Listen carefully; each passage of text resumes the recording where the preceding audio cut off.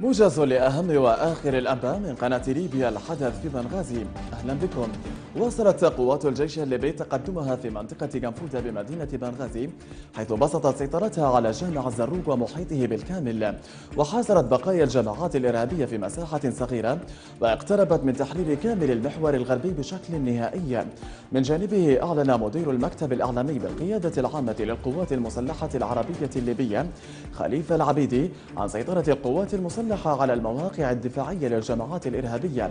غرب بنغازي مؤكدة أن القوات المسلحة أحكمت سيطرتها على أكثر من ستة مواقع أخرى للجماعات الإرهابية في جنفودا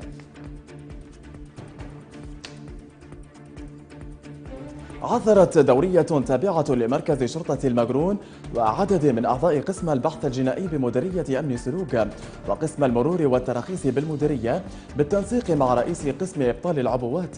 عثرت على صاروخ هاون وقذيفتي هاوزر وصاروخ نوع بي إم بي وثلاث مفخخات بالقرب من منطقة سلوك.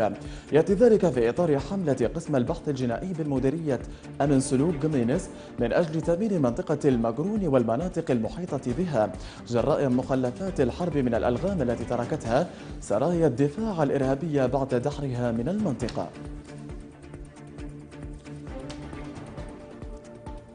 أعلنت كتلة السيادة الوطنية عن مقترح من عدة نقاط لما بعد يوم السابع عشر من ديسمبر الجاري وهو اليوم المحدد لانتهاء الاتفاق السياسي والمجلس الرئاسي غير الدستوري.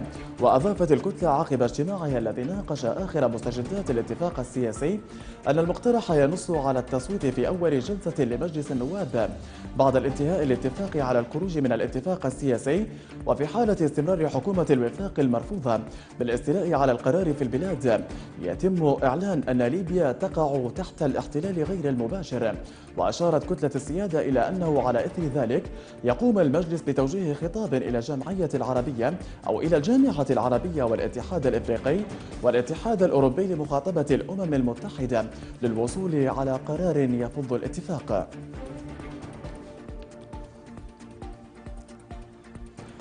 قامت كتلة وزارية من حكومة الإنقاذ بزيارة إلى مدينة طبرق التقت خلالها مع رئيس مجلس النواب عقيل صالح لبحث دمج الحكومة المؤقتة والإنقاذ في حكومة وحدة وطنية. وقال رئيس الوفد الوزاري التابع لحكومة الإنقاذ برئاسة الغويل محمد القدار إن اللقاء مع المستشار عقيل صالح اتسم بالشفافية والوضوح من كلا الطرفين متوقعا أن يؤدي إلى حلحلة عدد من الأمور التي تهتم بالوطن والمواطن. noqdeen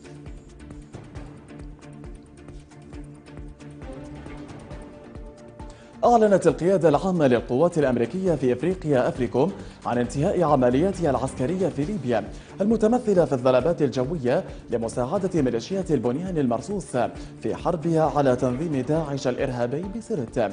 وفي سياق متصل تراجع المتحدث باسم ميليشيات البنيان المرصوص محمد الغصري عن التصريحات التي أدلى بها لعدد من وسائل الإعلام بشأن تحرير مدينة سرت بالكامل من تنظيم داعش الإرهابي.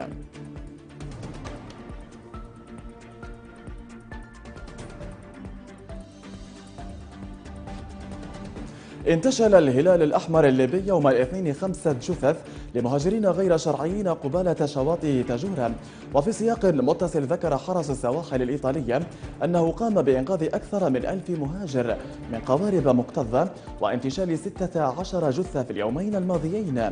بالإضافة إلى انتشال نحو 800 مهاجر من تسعة قوارب مختلفة. يذكر أن إيطاليا استقبلت حتى بداية ديسمبر الجاري أكثر من 173 ألف مهاجر متجاوزة الرقم القياسي السابق. المسجل في سنة 2014 والبالغ 170 ألفاً.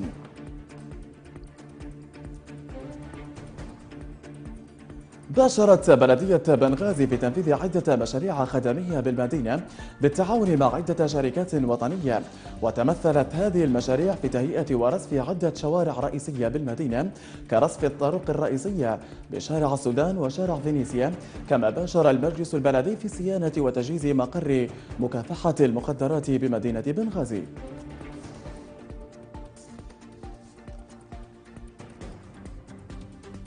اتفق النائب الثاني لرئيس مجلس الوزراء عبد الرحمن اللحيرش مع العاملين بالشركات المناولة بمطار لبرق الدولي أن تتولى الحكومة صرف مرتبات العاملين.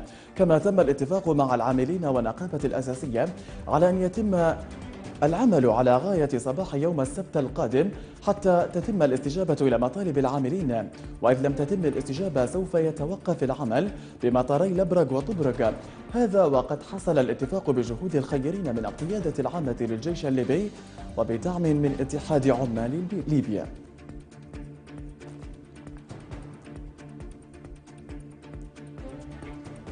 ولمزيد من الأخبار تابعوا قناة ليبيا الحدث على مواقع التواصل الاجتماعي فيسبوك تويتر يوتيوب وتليجرام.